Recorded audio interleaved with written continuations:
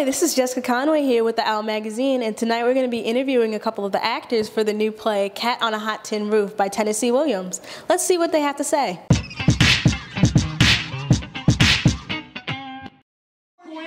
that what you think? Hold on, son. There we go. Well, this is my first show with the Actors Guild, and so Ben and I uh, brought Cat together as a decision, and I started working on it in June. For me, as the actress of Mae, I think that Mae is, she's your classic beauty pageant queen. She's, I mean, she is kind of mean, but I think she's mean with good, like kind of good intentions. She's, she's trying. I'll give her that. She's trying.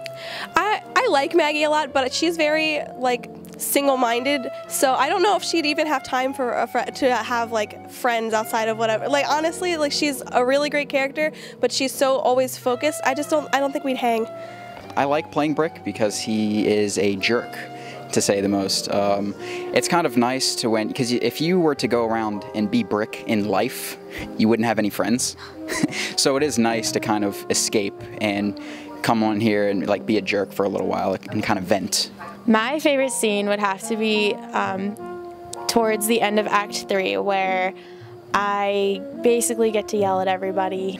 My favorite scene would probably be just the entire. I like everything that I do with Big Daddy in Act Two. I mean, we have a lot of stuff. There's a few things where there's some pushing and shoving going on. It's really intense in each other's faces, so I, I like that. My favorite scene is probably the first scene where you get to meet Mae, which is Maggie's sister-in-law. It's just really funny. It's the first time where you really get to see the cattiness come out between both of them. I think they do a great job. You know, a huge part of doing theater is about sending an idea out into the community that is thought provoking. And I think the Actors Guild provides an opportunity for that. I love it here. Like the people are great.